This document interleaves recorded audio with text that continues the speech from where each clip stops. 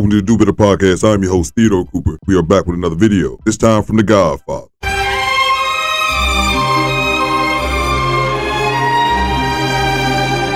Wasn't planning to do another reaction to Mr. Samuels, but I found this one, thought it was hilarious. Let's get to it. because sugar a dating. lot. Sorry. Okay, I'm having a hard time hearing you, and you're and you're Okay, not let being me- clear. You want you want? Do I have Is any this perspective? You're asking me, do I have a, a perspective on sugar dating? Yeah. Well, I had a question because right now, um, the the guys that I start talking to, I guess they get mad or they have fragile, fragile egos because I don't respond. Um, I, I've been told like in different ways that my communication is, um, yeah. Well, I'm having a hard time understanding you right now. So I mean, I don't know what the fuck you're talking about. So get to it. well, do you have any general advice on sugar dating? General advice For about women? what? I mean, I don't even know the question yet. like this it's a, okay i guess you can answer like a general question from your perspective of what advice you give to us females in the in this um in this um area of dating well, I'm gonna tell you right now. If you are you sugar, are you trying to sugar? yes sir Um, I hope you are extremely attractive because talking to you would be a pain. i am um All thankfully Th- Well, then, then uh, hopefully you're really, really good in bed because, truthfully, dear, most sugar daddies don't want to just have it. You're gonna have to have a conversation with a man, right no i can conversate but you, ha- but not really. You haven't been able to conversate or converse. I don't understand what you're asking. we're speaking together now no All right, I'm gonna do this one more time, and then you can check the little sassy attitude shit too. I don't do that with women. that's true i think that's yeah Yeah, I don't do that shit with women. it's very natural so i yeah, know well, look, and and it would, and you get the right person, they're gonna knock the furniture out your mouth. Facts. I'm just being honest, man. If you're gonna sugar, you need to deal with men who can have the money to sugar. Don't put up with sassy sugar babies. Yeah that's true i noticed that Exactly.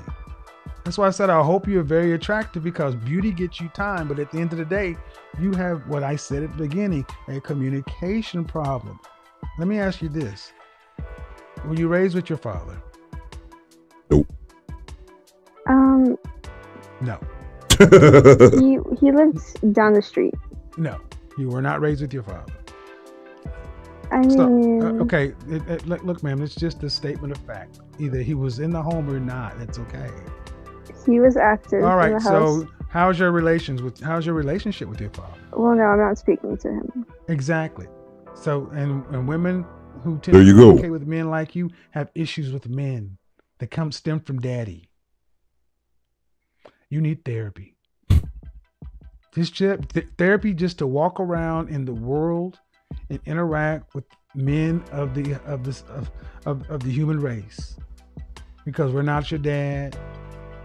And we don't all want something from you, even though if you're an attractive woman, most men want to have sex with women, period.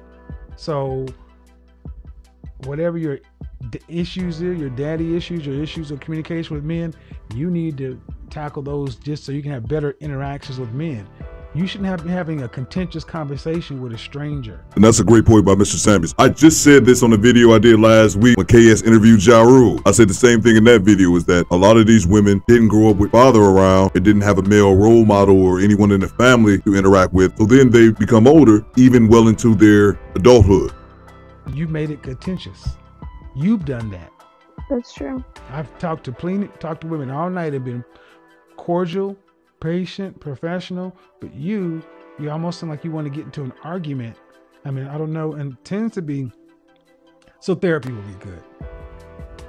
Um, right. I mean, I, I don't want to be like the woman that, you know, you talk to though, because that's just, I But- feel like their their spirit is gone. Well,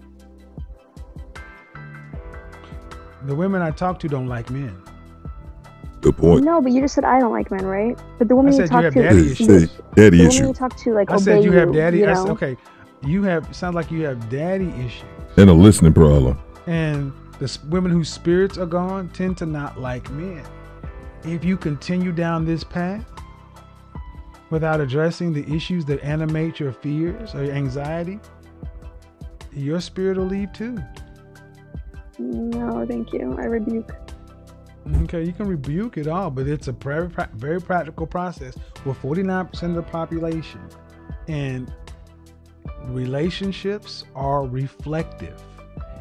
You reflect and draw the kind of men that uh, uh, you reflect. You you draw what you are. So if your interactions are chaotic with men,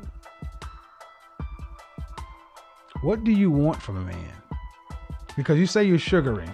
How long? Okay, let me two questions. Yeah, How long do you plan on to sugar? indefinite period. Or Couple there's, a, years. there's always a definite mean, it, period. it could be. No, I, yeah, I see. I see. I see what you're saying. in you can't sugar baby at But I mean, 70. I know. I definitely know people that, you know, Just I know the people question. that. Okay, I could Oh. say you know up until Jada Pinkett, Jada Pinkett's age, Halle Berry's age, What? because I, I have a baby face that I'm growing into. All right. So, So you think? So let me get this that straight. age. Let me get this straight. You're a Caucasian woman. No, sir. What's your race? What's your ethnicity?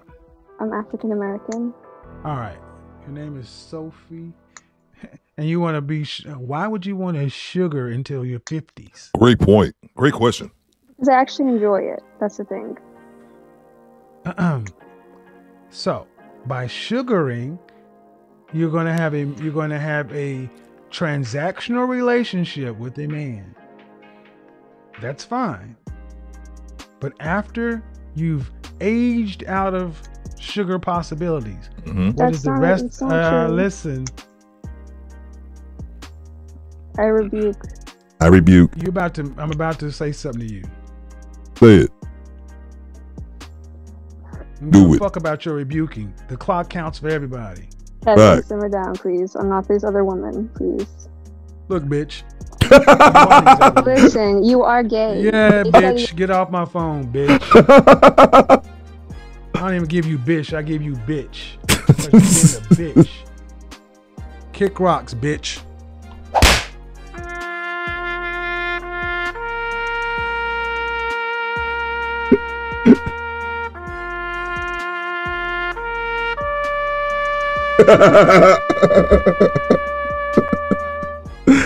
Fifty-year-old sugar baby. Can you imagine? God bless America. Any man who runs into that bitch.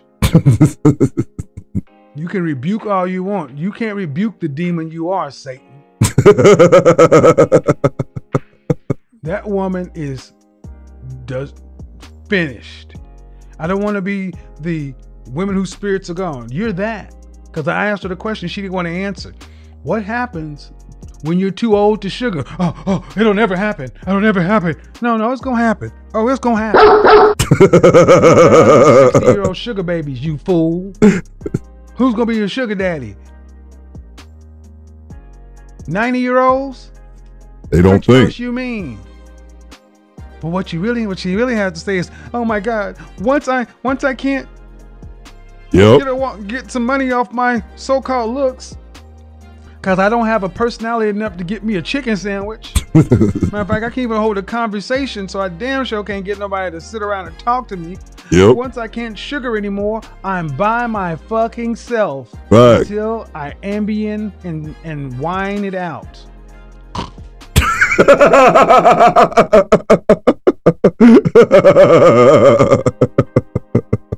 oh man, rest in peace to the Godfather, bro. That's it. If you guys been following the podcast for a while, you know one thing that I always like to do is try to see what we can learn from any interaction that we see. That's how I feel 98% of the time. But in other times, I'm just here for the jokes. And this was one of them. As I stated, this make the second sound bite I think we discovered while watching the video. So that's always dope. And about the lady, she started off the conversation stating that her sugar daddies or whatever say that she has a communication problem. It took quite a while before Mr. Samuels was even able to pull out the reasoning for her call. She sucks at communicating, then has the nerve to have an attitude as well. And then when she didn't like what Mr. Samuels had to say, of course she had to throw the gay allegation out there. But but I'm glad enough of us men have seen this content and got to the point where we don't let those insults get to us. And also remember, fellas, as soon as they have to start name calling and they come with the sign language, you already know you've won the argument. But you guys let me know what you think at the party in the comments. My name is Theo Coop, but you can Call me bitches. do better.